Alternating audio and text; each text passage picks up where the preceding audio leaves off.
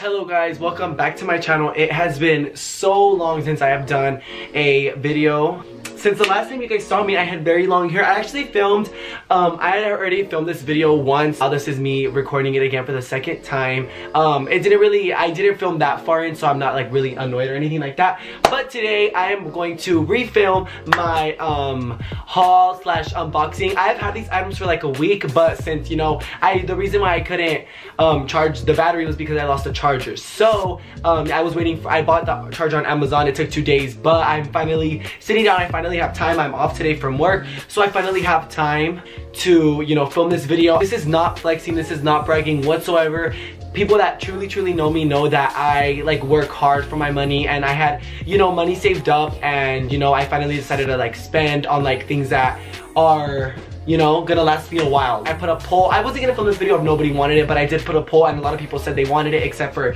you know, people that want attention, but we're not gonna pay mine to them.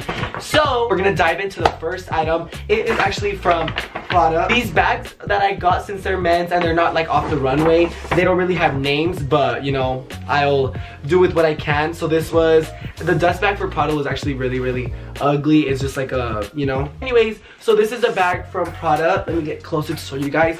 So it is just this black crossbody bag out of like this material and there's a logo right there. On the strap it says Prada right there. It has Prada right there. A lot of the silver pieces have Prada on them. It's just a really nice crossbody. I really like the size and the shape but yeah it's just like this so yeah this is just a prada bag it's a it's a men's crossbody and i really really like it now we're gonna dive into the gucci store so this was the bag and the first item that i'm gonna pull out was another crossbody you see the dust bag for gucci was even nicer so yeah this was the crossbody that I bought from there. It is just this really simple crossbody. I actually like the Prada one better because it has a nicer shape. This one has like a like a different type of shape and vibe to it, but it is just this little crossbody and it fits me the same way as the other one and you guys could see it's, it has the emblem all over the back and then on the little leather detail it says Gucci. On to, oh and by the way I want to give a huge shout out to my friend Yumara. She went with me and Karina. She, they both went with me and it was just really fun and they helped me pick out all of these items and they both thought that these items were really good that I should buy them because you know they're they're nothing too flashy and they're items, ooh, I just fat. They're nothing too flashy and they're items that I could definitely wear on a regular day basis. The next item that I got from Gucci came in this little box. I'm already taking it out. This little Gucci box. And it is a wallet that has the logo all around it. So this is it. This is the inside. It just says Gucci right there, I believe. Yes, it does. It says Gucci right there. It has some card compartments, some card compartments here, and it has a zipper, you know, for some change in there. It's the bag. It's just, it's really small. It's very, very, very simple, and that's why I bought it, because it's just a really simple little wallet. So that's it from Gucci. Then the last store and the last item that I bought was from Balenciaga. I really like the bag. It's a really, really nice bag. And it is in this little box. And then it's in this little bag. The box just has a little bit of velvet in there and a little piece of lint comes in this baggie. And this item was honestly really random. With all of these items i just wanted i definitely went just to get a crossbody and a wallet but i ended up finding more items that i liked and this is the last item. It is this balenciaga. It says balenciaga all around it cuff.